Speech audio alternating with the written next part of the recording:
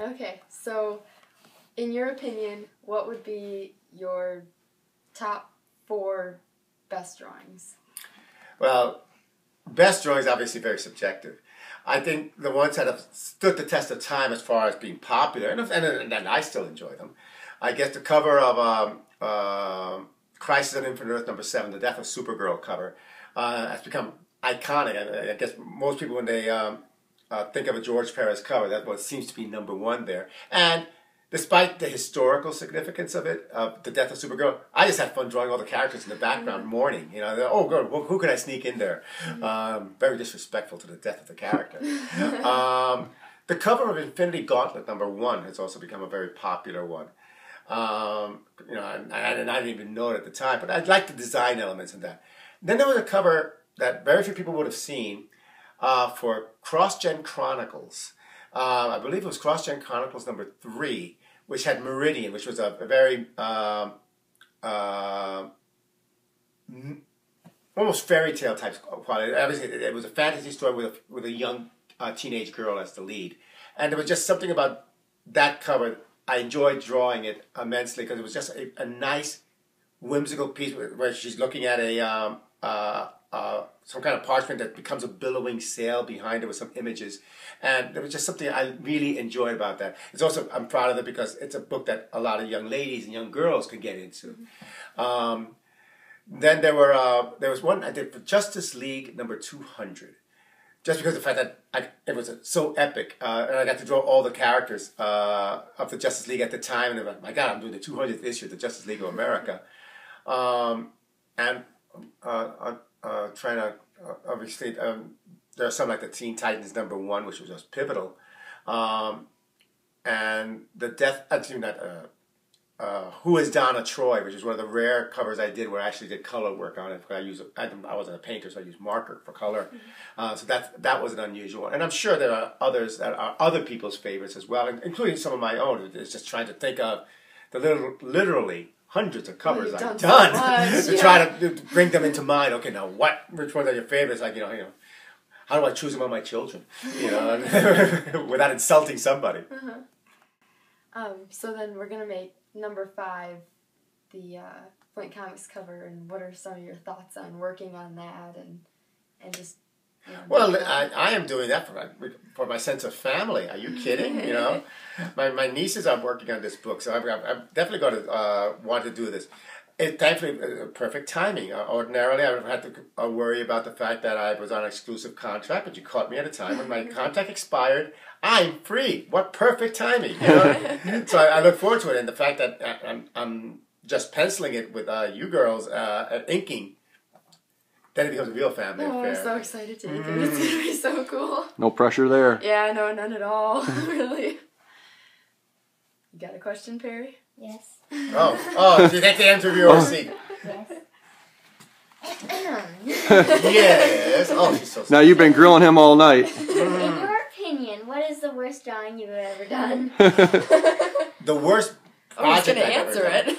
I, it was an adaptation of a movie called Sergeant Pepper's Lonely Hearts Club Band. Ah, I it know was that movie. it was uh, not the best movie in the world to say the least. but when we were having to do it, we were given no reference on it. It had to be rushed out. They kept changing everything as we were going along, and I was so happy about one thing about that book. It was never printed in the United States. You know, I have the soundtrack for that movie. Oh, I mean, the soundtrack's fine. The music, I love the Beatles music and everything else. I mean, but it was like a movie that starred the Bee Gees, who never spoke on the film because they had British accents and they had to be playing Americans, um, and a lot of things that just were, just went so totally wrong. And the comic is the one thing when I look at it and say, Oh my god! I hope no one ever sees this comic. and when I when I heard it was uh, sent over like to Japan, other places, I was getting revenge for the um, um, the the unfair trade advantage we were having at the time, whatever it was. But that that does rank as my least favorite comic uh, drawing uh, all. And, that, and if you and if you ever see it, please forgive me. I can't believe you answered that, and it was so quick. oh yeah, but when it comes to uh, my least favorite book, that that's legendary for me. Uh, in fact, I actually saw uh, somebody had artwork to that. Uh, they both they found the artwork. I don't know how, and somebody had a French edition of Sergeant Pepper. Wow. And I said, "Oh my God, it it actually got printed." And I look at that. I mean, and with due respect to the gentleman who inked it, uh, uh, the late Jim Mooney, who did Supergirl. He was lot- great. A lot of great work. He and I were not compatible on that book. Uh, and you know, it, it just wasn't a shining hour for either of us. Okay. Huh. How about like uh, I got a question. How about for like an interior page? What would stand out? I mentioned a lot of covers, but Well, the interior pages are very hard. Uh, no, no. In the case of hey, Sergeant Pepper was a book. Tr- tr- Trust me, there are plenty of interior pages. That I'm, I'm talking about for the back to the best. Oh, back to the best. back to the best. pages. Oh God, that's uh, that's almost impossible to answer. Uh, although there's one that I still look at, and I'm kind of proud of the way I laid it out. It was a a, uh, a double page splash in the Teen Titans. I believe it was issue number um, thirty nine. Um, the, the same issue where Kid Flash and um, uh, Robin gave up their identities. And there's a double page spread. I, I know another artist copied it, and it's been in, just showing the Titans rushing in uh, in an underground bunker, battling a lot of uh, soldiers. I ha- happen to really like how I handled that deep perspective. Cool. Um, and you know, and, and, and there are a bunch of uh, others that I'm sure um, I'm just not, Right. not clicking. Oh, I just thought of another cover that I that I absolutely loved. The cover to the first ever Wonder Woman annual because I used a very Art Nouveau approach, like an Alphonse Mucha approach to doing that cover. And I'm still very proud of that because it was different and it was the first ever in all her years of existence at the time Wonder Woman annual. She never had an annual up until that time. Cool. Interesting. And you even had the Wonder Woman stamp too. Yeah, and that was one of the simplest drawings. I, well, I think that's one of the reasons it became a stamp because it was a simple drawing, no backgrounds, just her in a, in a with some birds flying in an open sky. Because then you can shrink that down to the size of a postage stamp without it looking like mud. yeah. Right. So you have any preference, uh, like any order that we put uh, your favorites in, or pretty much the way that you just said Well, the them? thing is, as in favorites, I have no one that's I would say more favorite than another. You know, uh, Okay. uh, it, it's just that they happen to be ones that I'm so proud of, and I'm sure, like I said, I'm probably omitting some just because of the fact that with the literally hundreds of books and covers that I've drawn. Um, you know, it's not like I'm, I'm keeping an index in here that, that I can right. just rattle down and, uh, and, and look it up here. Right. And then the uh, uh, the the most hated one uh, is that a secret or Sergeant Pepper, oh no, I, I, I, I've, I've, I've stated it publicly. okay? Okay. Oh no no! no. Just in case anyone ever has the temptation of bringing the book out to uh, uh, for me to sign, they have a copy of Sergeant Pepper's. They should be aware. Okay, now let's let, let me throw it to George so I can stay out of striking distance. All right. You guys got any other questions for your uncle? What do you guys think about working with Uncle George? Finally, you're gonna ink his work. So cool. I know. I can't Huh? wait for it. I love the fact that she's so fearless. Uh, I, I, I love inkers. In the old days when I when I was um, starting industry and before my name was so big that people wanted to work with me because then they can resell the artwork or be more popular because they're working with me. People didn't want to work with me because I was just too hard to ink. I love now that I find young inkers who come in and say, and they're fearless. Oh no, bring it on, bring it on. We want to ink George Perez. Uh, Were you that fearless when you came on?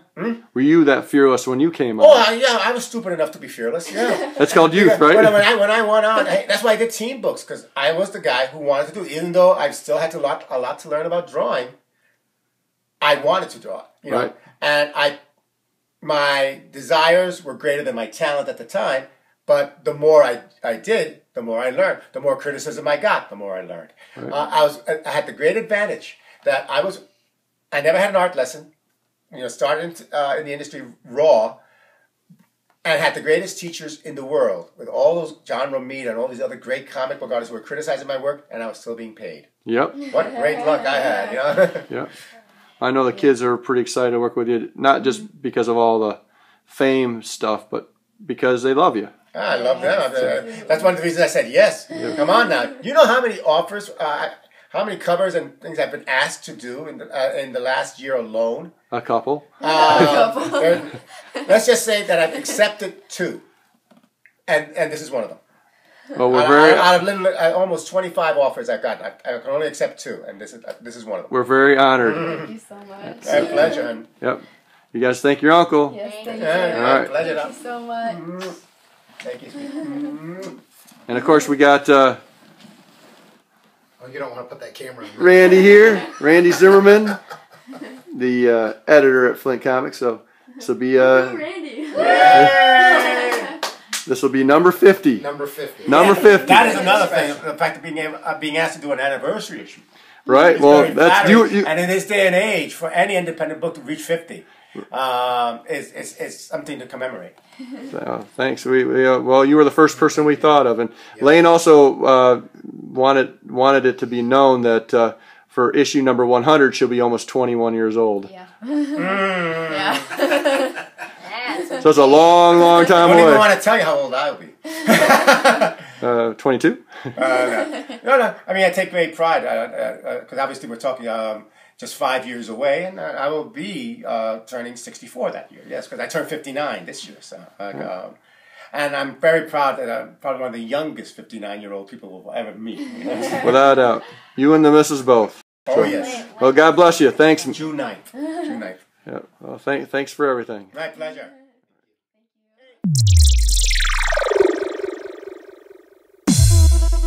Thank you.